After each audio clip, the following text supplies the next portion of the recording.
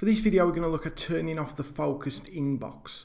When you first log on to your email in either Outlook or through a web browser, uh, which is what I've got here, you'll notice that at the top it says focused and other. What this is doing is it's sorting some of your emails. So instead of just being in one big inbox, uh, it's trying to work out what you, it thinks is the most important for you and it puts it in this focused inbox.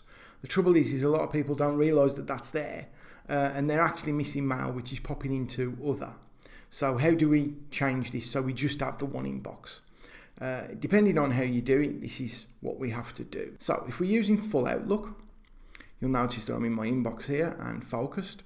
Very easy in full Outlook. If we just click on view, you'll notice that show focused inbox is ticked and simply click on there and you'll notice it goes to a normal inbox and that's it, it's done.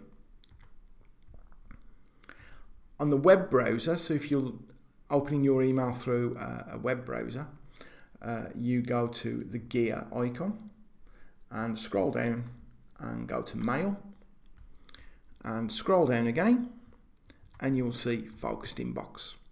And then simply tick don't sort messages click save.